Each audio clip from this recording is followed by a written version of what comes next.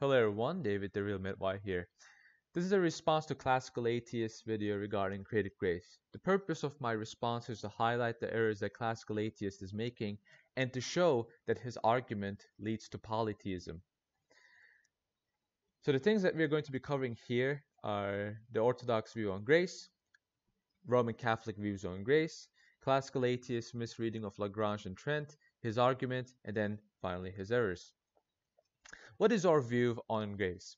Our view is quite simple. We have the essence energies distinction. And because we have the essence energies distinction, we can say that grace is an uncreated energy. And by the nature of the essence energies distinction, we can participate in the energies of God. Therefore, we receive the uncreated grace of God.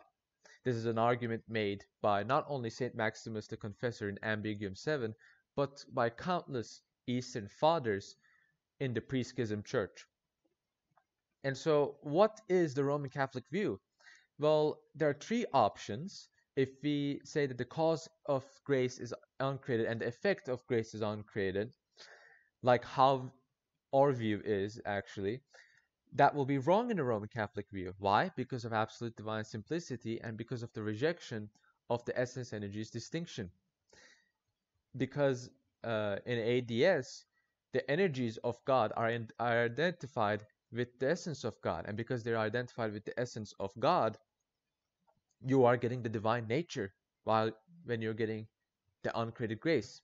But scripture says that no man has seen God's face, God's face being the divine nature, and lived. The cause is created, the effect is created. And the argument that uh, ClassicalTheist makes is the following the cause is uncreated, yet the effect is created. Now, before we move on with his argument, I want to cover some of the errors he makes regarding Lagrange and Trent. So he uses the quote from Lagrange where he says that the grace of God is neither created nor concreated. We will say that yes, uh, Lagrange is right because Lagrange is talking about the grace of God, the grace that God has the grace that God has, we admit that in the Roman Catholic view, the grace that God has himself is not created.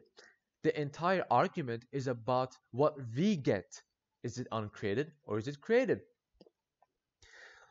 Lagrange then, in the same argument, uh, compares grace that we receive to created agents. Now, if grace that we receive is uncreated, then why is it comparing it to created agents? Seems like a nonsensical thing to do. Aside from misinterpreting Lagrange, he also misunderstands the argument we're making regarding Trent. So he, he says that uh, the canons of Trent is arguing against the Protestant notion of imputed righteousness. And we will say, yes, you are making a reply. I see that you're making a reply. Our problem is that the reply is wrong. What is the reply? In Denzinger 799, we see this statement. Finally, the unique formal cause of justification is the justice of God, not that by which he himself is just, but by which he makes us just. So the argument that the Protestants, the Catholics, and the Orthodox are making regarding this issue is the following. The Protestant says that we get the created right, created justice of God, but we don't become just. The Catholic response is that we get the created justice of God, thus we become just. Whereas us Orthodox will say, both of you are wrong. We get the uncreated justice of God. That is what makes us just. So it's not a created justice. That has been our argument all along. And ClassicalTheists didn't really respond to this. So what's the argument that ClassicalTheist is really making?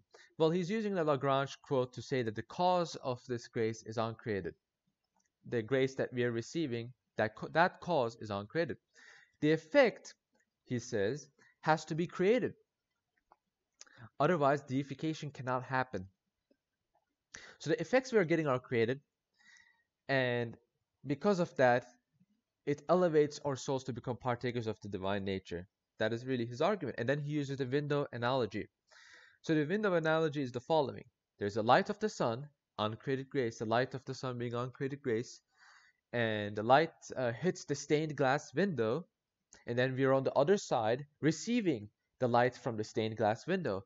The light that we receive from the stained glass window is created light. It's a created light. So that's the argument that ClassicalTheist is making. And it makes sense. You know, how is this really wrong? How is this how is this polytheism, David? What is wrong with this argument? Well, there's a lot wrong. The first thing is the cause being created or uncreated does not matter. It literally doesn't matter. What matters in this argument is the effects that we are getting. ClassicalTheist, as I will repeat, has stated that the effect has to be created. Otherwise, deification cannot happen. St. Maximus the Confessor disagrees with ClassicalTheist. He says that we can get uncreated grace directly from God through his energies. And then ClassicalTheist uh, pretty much says the following. He says that the effects of the the effect is deification, right? You get deification from the grace. The deification itself is created, created effects, right? It is a created deification. Now wait a second. We have a created divinity and an uncreated divinity now. That is the error of Barlaam. Barlaam makes this error against St. Gregory Palamas. And what does St. Gregory Palamas say? St. Gregory Palamas says that this position is polytheist. You have a created divinity and an uncreated divinity. So not only is the argument that ClassicalTheists making uh, showing that grace, is, the effects that we are receiving is created, but also it leads to it being polytheist.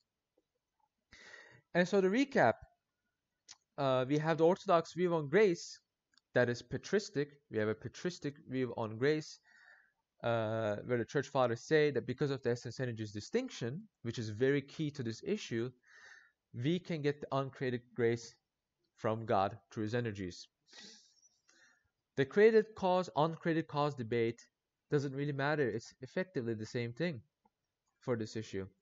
ClassicalTheists misread and misunderstand Lagrange's argument, and he dodges the main argument we're making regarding Denzinger 799. And lastly, ClassicalTheists use the window analogy to show us how we get the grace of God. But as shown, this argument leads to polytheism. And so that will be the end of the video. If you like to click like, click subscribe, and if you want to follow me on Twitter, my Twitter is the real White. Hope you enjoyed the video. God bless all of you.